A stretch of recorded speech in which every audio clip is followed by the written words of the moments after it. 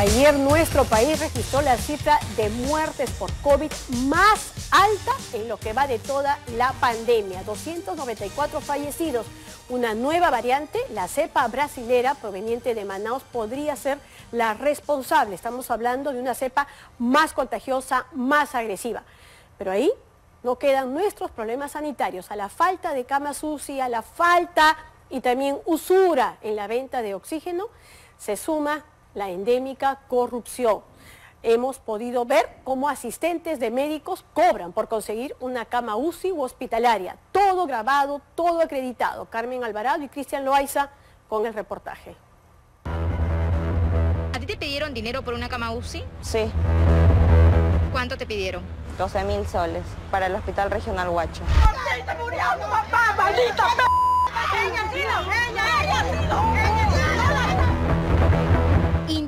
Intentarlo todo, con tal de conseguir una cama UCI o de hospitalización.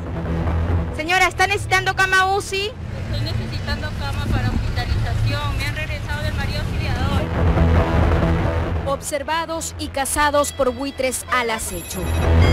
Yo tengo clientes que vienen desesperados, dice que ella le da cama UCI, tiene contacto adentro con doctores, tiene, si tienes un enfermo te manda la foto. Acceder a lo más preciado en tiempos de pandemia parece tener un costo.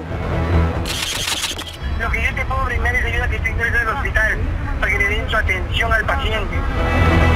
Camas que se han convertido en la cereza del pastel de presuntas mafias que operan en los exteriores de los hospitales de Lima y provincias en medio de la impotencia por querer ayudar al ser querido. Que no le voy a hacer sentir de que es abusivo. Sí. Porque usted termina sus gastos, señorito. No es Sí. solo como un hijo, no es solo, no me van a apoyar, no le voy a pedir más. El aprovechamiento en su pico más alto y perverso. Es justo que por unos soles jueguen así con la vida de las personas. En ese transcurso de la búsqueda nos, nos contacta un supuesto médico, nos dice que él solo necesita un apoyo de 2.000 soles. Situaciones que ponen en la mira a un médico Es una suplantación de identidad, más bien el suplantador está pasándola bien porque todo el mundo se está enfocando en él. un técnico de enfermería Lo único que te pide es que sea discreto, nada más. y hasta un agente de seguridad. Usted no recibió los 3 mil No, soles. no, yo, yo soy humilde.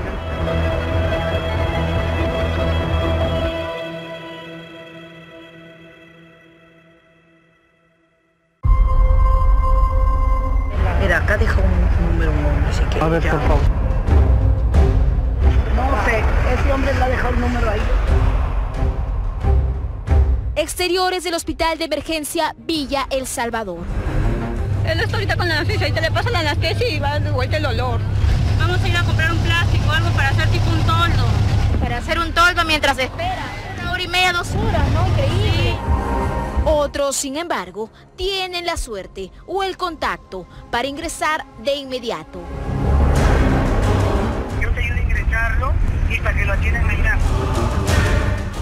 Pasos, vendedores ambulantes serían el gancho de esta red que se aprovecha del dolor ajeno. Se camuflan y operan a plena luz del día. Yo le dije, deja tu número, si me llaman, me dijo así, Morena, cualquier cosa, pero, ah, déjalo ahí, porque yo no lo voy a borrar en mi celular, no lo puedo guardar. Ofrecimientos express para familias al borde del llanto. No sabe nada. No, yo no sé nada. Ese teléfono que está ahí, El eh, señor vino, me dio un ofrecimiento y yo le dije, yo no me meto en esas cosas, si quieres deja. el señor le ofreció que tal vez podía ayudar a la gente desesperada. de Sí, yo le dije, yo no me involucro en eso, si quiere deje su número y alguien la Pero el señor necesita. no le da una comisión a usted, ¿no? A mí no. El señor, como ella lo llama, es el contacto que necesitamos para acceder a un privilegio. El número telefónico escrito en su puesto de ventas a vista y paciencia de todos.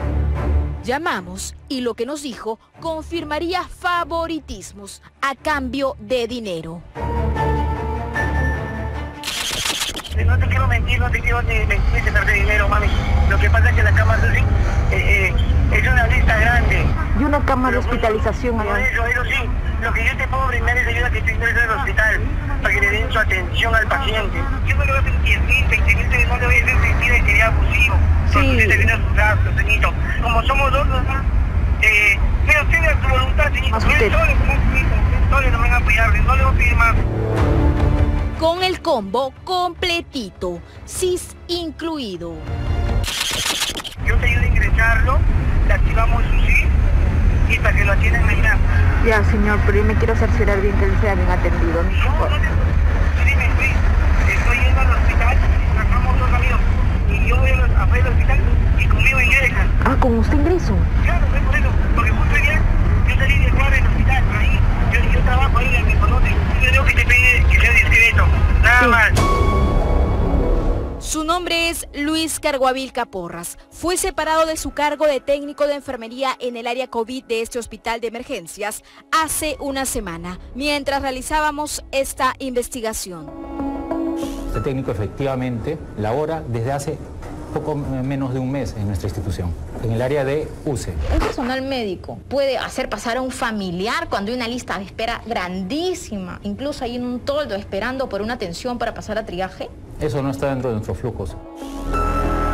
Mientras hablaba enfáticamente de erradicar a estos grupúsculos que manchan la imagen de un buen personal médico, la insistente llamada del técnico de enfermería interrumpió la entrevista. Sí, técnico. Sí, Nos afirma que quien nos hará pasar es otro técnico de nombre Jimmy.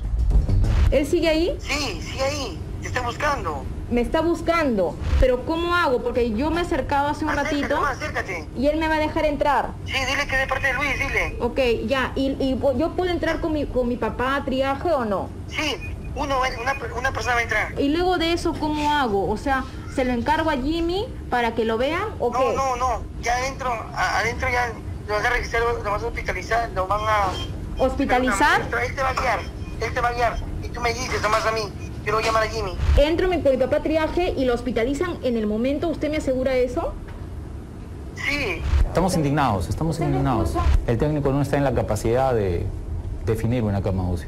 Ni hacerlo ingresar al hospital. No, porque hay un flujo. Nuestra emergencia se encuentra saturada, sobresaturada. Prácticamente es imposible que haya alguien que pueda subir directamente a hospitalización.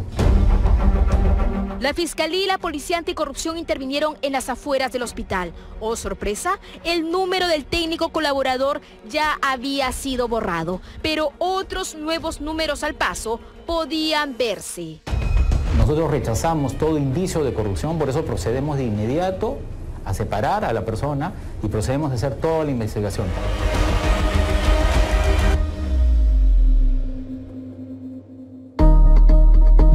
Si en el hospital Villa El Salvador un técnico de enfermería parecía el amo y señor de estas barreras impenetrables, a Giselle Muro Zabaleta le ofrecieron una cama UCI para su tío en estado crítico a 2.000 soles, tan solo para acelerar las gestiones. Al momento que nos llama el, médico de Mongru preguntándonos si ya habíamos conseguido una cama, nosotros des- en, en desesperación le decimos que aún no tenemos. Y a la media hora me llamó eh, una persona identificándose como Medardo Chávez González, diciendo que era jefe de UCI del Rebagliati. Una llamada confusa que les devolvió la esperanza en medio de la angustia. si a mí me confirman ahorita que sí van a poder apoyarlo, porque prácticamente se tiene que pagar a todo el mundo. No es fácil, hermano. Nos dice que él solo necesita un apoyo de 2.000 soles. Para el tema de las firmas, que hay muchas personas que tienen que firmar para ponerse de acuerdo y hacer el traslado respectivo. Ese mismo día, las comunicaciones no cesaron para coordinar el supuesto traslado del Hospital Mongrut al Hospital Rebagliati. Con programación es, no es de que ya está el paciente inmediato, no, es con programación, mamá, todo es programado. Ya, dígame, ¿es la ambulancia? ¿Tengo que coordinar? ¿Cómo va a ser? Es... Nosotros nos encargamos porque es de, de salud, de salud es. Creímos que era real porque él se presenta como médico de UCI del Rebagliati, nos da su nombre completo, es más, nos brindó también su número de, colegiatura que coincidía, eh, entramos a la página del Rebagliati y él aparecía como jefe de, UCI del Rebagliati. Es más, el DNI que él nos da para también hacer el depósito a, a su cuenta también coincidía con el nombre completo. Este es el voucher de mil soles, el adelanto para empezar los trámites. Aquí llama la atención el nombre del doctor Medardo Chávez González y los últimos cuatro dígitos de su DNI, que coincide con la información brindada por el hombre de las llamadas telefónicas. Es una suplantación de identidad más bien el, suplantador está pasándolas bien porque todo el mundo se está enfocando en mí. En los documentos del voucher usted la ha visto, me imagino. Sí, sí, sí, ya hice las gestiones en el banco de crédito y ya todo está encaminado. O sea que ese estafador utilizaba su DNI para que le transmita. Y lo ha seguido utilizando tiempo después de que ha hecho todas estas cosas. Es una suplantación de identidad. Salud comunicó que Chávez González, desde el inicio de la pandemia, no trabaja activamente en el hospital ni en ninguna área COVID, porque el doctor solicitó su aislamiento voluntario. Yo hace cerca de dos años y pico, más o menos, ya dejé de ser jefe. Ajá. Yo no estoy trabajando, estoy en cuarentena. ¿Usted está en cuarentena? Soy mayor de 65, soy hipertenso. Pero usted está en la planilla de Revaliati, ¿cierto? Ah, claro, bueno, yo trabajo en Revaliati. ¿Por este caso lo ha suspendido o lo han sacado? me han mandado una información preliminar que estoy resolviendo. Entonces usted no es la persona que en el audio. No sabemos si es un doctor, si es del entorno, si son una mafia de estafadores, pero realmente creemos que es algo que está bastante bien organizado y que tiene mayor información de la que deberían. Lo único que queremos es que se llegue al fondo de esto, que se, se desarticule en todo caso esta mafia o este grupo de personas que están haciendo esto y que están lucrando de una manera tan, tan, tan, tan, tan ruin.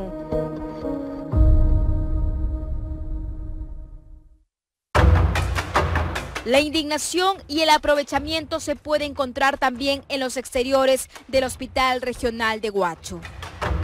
Ahí están gritando la gente afuera. Ahí golpearon la seguridad de la... Impotencia al darse cuenta de que fueron víctimas de una red con indicios de estafa. Todo empezó tras difundir en las redes sociales que necesitaban una cama UCI para su familiar, Miguel Ángel Carrera Chávez, de 44 años. Yo recibo una llamada como a las 7 y 47 aproximadamente y me empieza a decir que, es una enfermera del Hospital Regional Huacho del área COVID y que se llamaba Milagros Amanamoto. Y yo le respondo, o sea, cómo podía yo adquirir una cama UCI y ella me dice, todo sería cuestión de negociar. El precio se quedó en 12 mil soles era la única opción para su padre, con el pulmón izquierdo totalmente comprometido. O sea que a mi papá lo pasan ahorita, si yo pago ahorita mismo lo pasan a UCI. Claro, ya las dos ya están, ya mi papá ya está en, como UCI, ya, Entonces ahorita voy al hospital. Sí, al frente de emergencia. Hay una señorita, yo le voy a enviar a una señorita de... Yo no tenía los recursos necesarios para juntar ese dinero pero en la desesperación acepté y de donde sea me iba a conseguir el dinero con tal que mi papá tenga una cama UCI. Primero, pagó 3 mil soles. La mujer de blusa amarilla recibe el dinero. Todo fue registrado. Lo que le duele más es que cuando su papá ya había fallecido y ella se encontraba realizando los trámites funerarios, le exigían completar el pago. En conclusión, ¿para qué te llamaba? Para decirme de que, que si seguía queriendo la cama UCI y que tenía que dar la otra parte para que mi papá lo trasladen. si tu este, papá ya había muerto. Claro, en ese momento yo le seguí la conversación porque ya no tenía nada que perder, mi papá había fallecido, siquiera recuperar el dinero que, que yo les había dado a ellos. Esta mujer, identificada como Jessica Milagros Moreno Churrango, fue atrapada con las manos en la masa.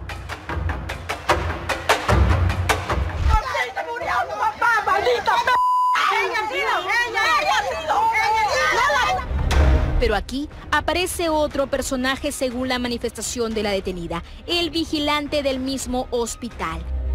¿Con cuánto dinero se ha quedado el vigilante? Eh, tres mil soles, lo que dice la, la detenida. La capturada da su declaración que usted tiene tres mil soles en su poder que ella le ha dado. Ah, no, no quiero La señora Jessica está diciendo que en complicidad con usted... No lo conozco, Entonces usted no recibió los 3 mil soles. No, yo he sido humilde. Buscamos a Jessica Milagros Moreno Churrango en su dirección en el centro de Huacho, tras ser liberada por la Fiscalía Provincial de Guaura.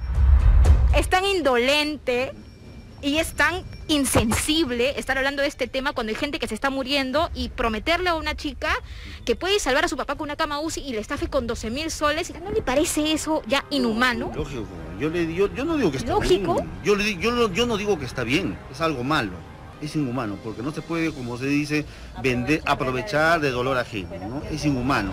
O Yo, yo no digo que está bien. Lo que ha hecho a la mamá de mi hijo, lógico que está mal. Rosa siente que es la voz de muchas familias, acalladas por el miedo y la falta de pruebas. Tuve que hacerlo más que todo para que mi papá descanse en paz, porque era una injusticia que estaban jugando con la vida de mi papá. No solo soportan el dolor del ser querido que no está más, sino son presas de oportunistas que hacen su agosto en el peor momento de muchas familias peruanas.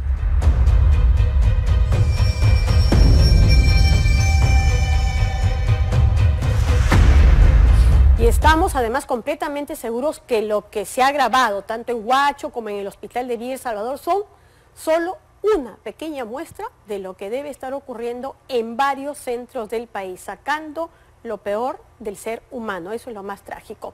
Vamos ahora con...